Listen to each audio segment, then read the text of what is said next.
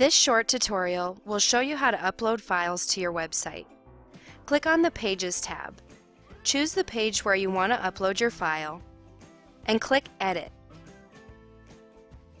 Inside the text editor, select the text to have your files link and click on the Upload File icon.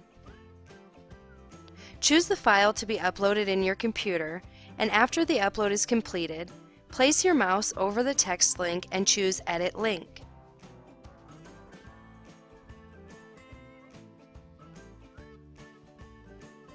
Mark the Open in New tab option, click Update, and save.